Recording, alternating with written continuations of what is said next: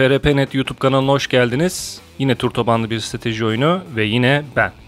XCOM hayranlığımla başlayan bu sevdam kolayca denecek gibi değil. Bir de aksi gibi sürekli karşıma çıkıp duruyorlar oynamadan da edemiyorum arkadaş. Neyse efendim bir süredir haşır neşir olduğum Gears Tactics incelemesiyle karşınızdayız. Gears dünyasına açıkçası pek aşina değilim. Ancak Xbox Game Pass üzerinde oyunun çıktığını görünce bastım yükle butonuna. Belki pişman olacaktım ama hiç değilse birkaç saat tur tabanlı strateji yaparak düşman avlayabilirdim diye düşündüm. Resmen oyuna tutuldum desem de yeridir. Daha öncesinde sitemizde de incelemesinde bulunduğum Battletech son birkaç yıldır oynadığım en iyi tur tabanlı stratejilerden biriydi. Aynı dinamikleri Gears Tactics'te de buldum açıkçası. Aslına bakarsanız Gears Tactics bu türe çok fazla bir şey getirmiyor ya da diğerlerinden de pek bir farkı yok. Doğru adım atıp iyi konumlandırma yaparak adamlarınızı kaybetmeden düşmanları haritadan temizlemeniz gerekiyor. Ancak bu işin doğru yanlarını o kadar güzel harmanlayıp oyuncuya sunuyor ki beğenmemek elle değil. Oyunun hikayesi ki daha önce de dediğim gibi Gears hikayesine hiç hakim değilim. Locust War adı verilen dünyanın çehresini değiştiren olayla başlıyor. Hikaye Gears'ın 4. ve 5. oyunlarından hatırlayacağınız Kate Diaz'ın babası Gabriel Diaz odak noktasını alıyor. Normal şartlar altında sıcak çatışmaya girmeyen, yer altında mekanik işlerle uğraşan Diaz, Sid isimli başka bir Gears askerinin ve üst mertebelerin ısrarı sonucunda sıcak sahaya iniş yapıyor. Geriye döndüğünde de ekibinden geriye hiçbir şey kalmıyor. Haliyle işi kişiselleştiriyoruz. Burada niye karakter isimlerinden bahsettiğimi düşünebilirsiniz. Çünkü oyun birimleri iki genel kategoriye ayırmamız gerekiyor. Biri heroes yani kahramanlar, diğeri de sıradan sağdan soldan toplayabileceğimiz normal askerler. Kahramanlarımızın ekipmanlarını ve kıyafetlerini özelleştirebiliyoruz ancak isimlerine cisimlerine karışamıyoruz. Ayrıca ana hikayenin devamlılığı için görevlerde de ölmemeleri gerekiyor. Diğer sıradan askerleri ise istediğimiz gibi mıncıklayabilme imkanına sahibiz. Her askerde tahmin edebileceğiniz gibi çeşit çeşit, sınıf sınıf.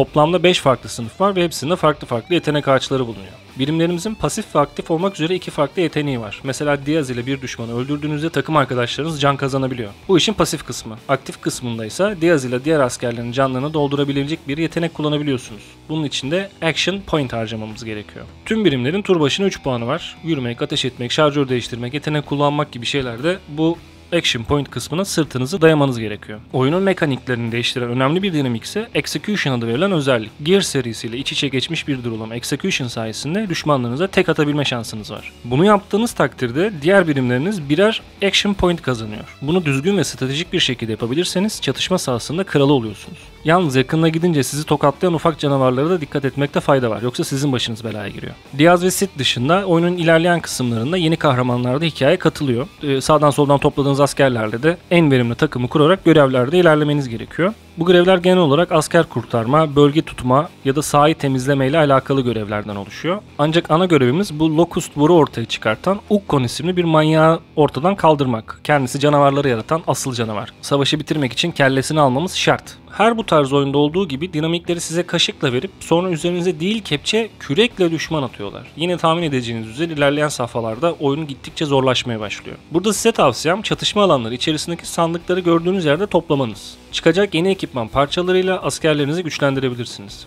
Ayrıca işinize yaramadığını düşündüğünüz askerleri ıskartaya çıkartıp yenilerini çağırarak onların ekipmanlarını da asıl takımınıza geçirebilirsiniz. Bu biraz mahalleye yeni gelen çocuğun topunu çalmak gibi oluyor ama Böylesi daha makul gibi. Çatışmalarda dikkat etmeniz gereken iki tane önemli unsur var. Biri düşmanın sizi sıkıştırmaması. Bu canınızı çok yakabilir. İkincisi yere durduk yere peyda olan Emergence Hole adındaki delikler. Bu delikler açıldığı gibi el bombası sallamazsanız sürekli olarak düşman üretmeye başlıyorlar. Kendinizi zor bir durumda bulabilirsiniz. Bu iki tavsiyenin yanında bonus bir bilgi olarak da Execution özelliğini bol bol kullanmaya çalışın.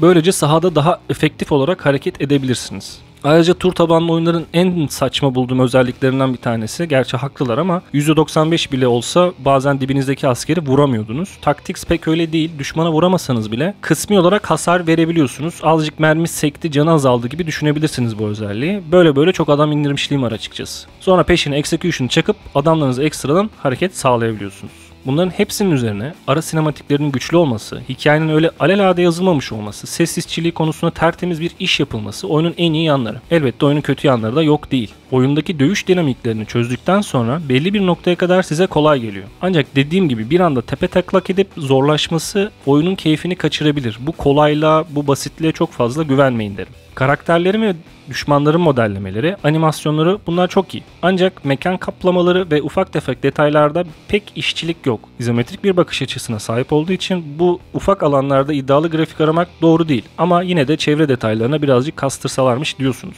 Eğer taktik maktik yok bam bam bam diye girişeceğim bir oyun arıyorsanız Gears Tactics size göre değil. Bu espriyi de bir yere sıkıştırmam lazımdı. Son kısım münasipmiş.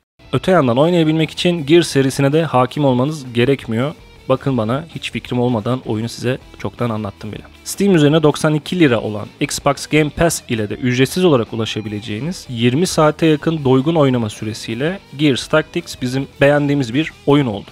Şu izolasyon günlerinde bolca vaktimiz varken taktik yapıp birazcık düşman avlamanın kimseye zararı yok. Hem oyunun hikayesi de güzel. Daha ne olsun. Bir oyun inceleme videosunun daha sonuna geldik. Başka videolarda tekrar görüşmek dileğiyle. Hoşçakalın. Time to go. Couldn't hide out in the motor pool forever, Diaz.